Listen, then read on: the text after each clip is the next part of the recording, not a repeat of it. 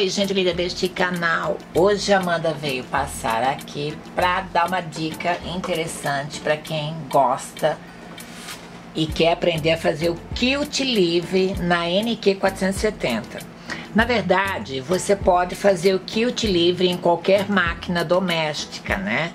Mas como a nossa máquina atual no canal Arte e Costura é a NQ 470 da Brother, é ela que eu vou fazer demonstração para vocês, tá?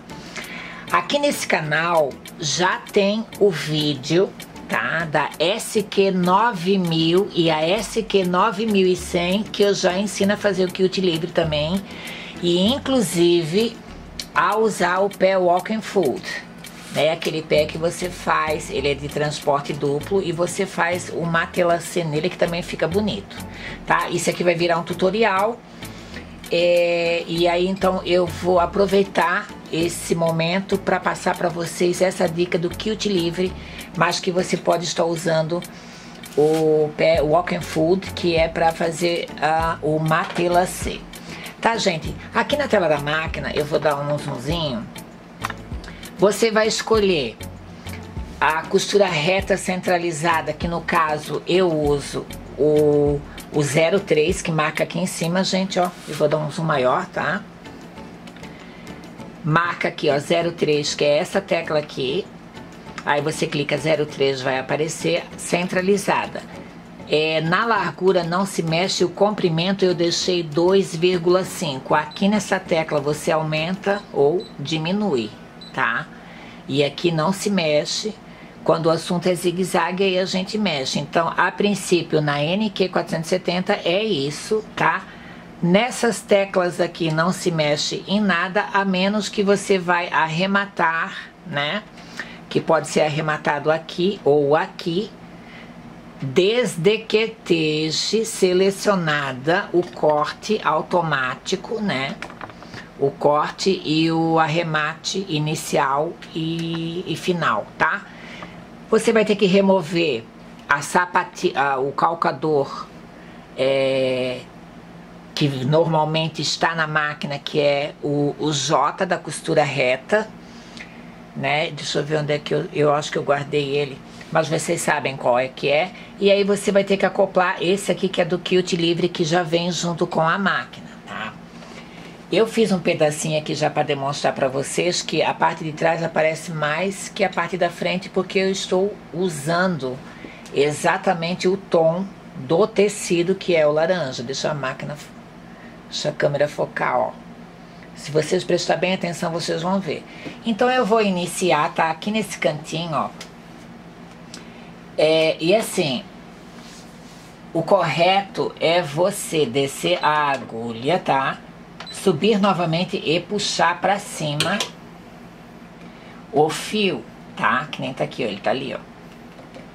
Mas, se você quiser dar uma arrematadinha, para arrematar não tem problema. Eu vou aproximar a câmera, tá? Aqui, ó. E vou deixar ela, deixa eu ver aqui. Nesse zoom maior para vocês verem. Gente, não tem segredo, mas é interessante para quem quer trabalhar, tá? Então você vai iniciar, ó.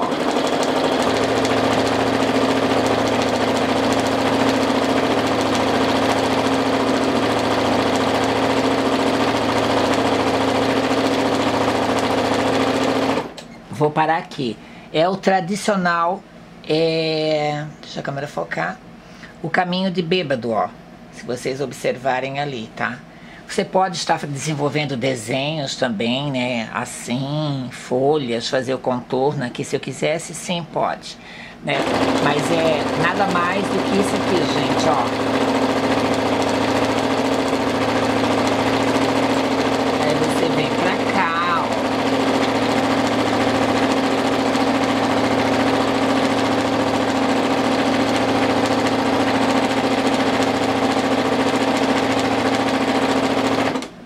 Aí você pode parar, dobra aqui um pouquinho, ó, gira, né? E vem trabalhando com isso.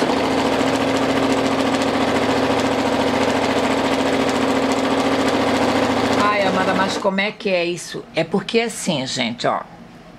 vou perder um pouquinho mais tempo para explicar isso para vocês. Existe essa mola aqui. Então, vai fazendo assim, ó. Conforme vai fazendo assim, você mesmo vai sentindo a necessidade, ó. Eu vou fazer bem devagarzinho, ó. Ó. Vocês estão vendo? Olha aqui, ó. ó. Se você tem medo, pega um tecidinho e vai fazendo uns testezinhos, gente, tá? É, não existe segredo e o desenho ele vai formando aquilo aqui, ó. Ó, deixa a câmera focar que vocês vão ver. Tá mais em cima, ó.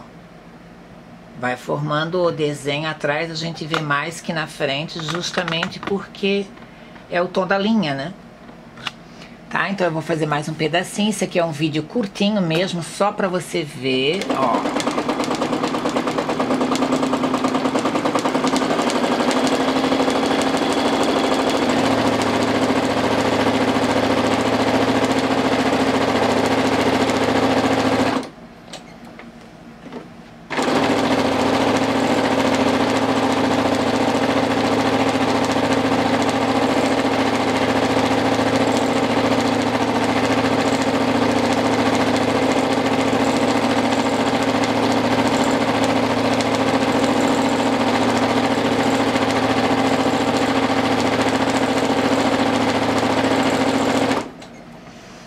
Posteriormente, depois vocês vão ver isso aqui num tutorial lá no YouTube, tá? Eu vou fazer mais um pedacinho e eu passei hoje aqui pra dar essa dica, tá? Porque assim, gente, aqui em cima, ó, tem muita gente que... Ai, Amanda, é regulagem. Sempre quatro. É assim que vem de fábrica, tá? A menos que você vai trabalhar com tecidos muito fininhos, né? Voal, aí se mexe nisso daqui. Porque senão a, a máquina, ela já vem, gente, programada de fábrica, tá? Então é isso, ó. Eu estou trabalhando com 2,5, que é o comprimento do ponto, tá? E a largura não se mexe, e aqui está selecionado é, o arremate e o corte, e aqui é o ponto que é o 3 que eu uso, e é isso aí. Tá bom, gente? Beijo no coração de vocês.